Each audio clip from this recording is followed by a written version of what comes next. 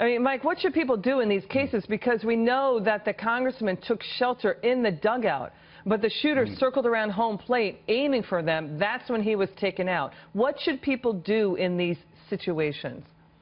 Well, if you can get away uh, from the shooter um, and get to uh, to cover, which is different than concealment, you want to actually be behind something that's going to stop around, and then keep on moving back, then fine, that's what you want to do. If you're not in a position to defend yourself, if you don't have a weapon with you that can counteract what's going on from the shooter, uh, then your best option, uh, you have to make a quick assessment. And the congressman said something that's very important. You're helpless. You feel helpless. All this, it, it comes on you immediately in a situation like this. And again, other things are happening. The physical activity within your body is shutting things down. And so you're in a bad position. If you're not anticipating it and if you're not armed, if you're not prepared to fight, then your best option here literally is to flee. Because if you, you just take cover they, and that individual keeps on shooting and nobody's there to stop him, then you, you, you know, you're in a goat rope at that point. Uh, thank God the Capitol Police were there. They responded in an extremely professional manner.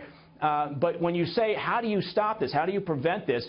Well, well think about what that means. Think about Yeah. in terms of, are you going to lock down every future event? We're in an age right now of hyper-partisanship. When Right. you look at the, the, the violent talk uh, particularly in the resist movement against Trump. And I understand everyone's got different political opinions, but we have devolved this thing down to where people don't really raise an eyebrow when someone talks about blowing up the White House or holding up a mock head of the president.